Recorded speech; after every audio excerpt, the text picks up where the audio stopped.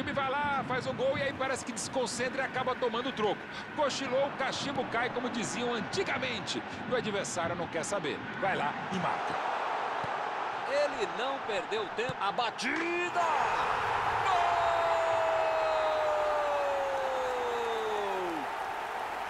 Gol! O time não desistiu e conseguiu a virada. O jogo cresce.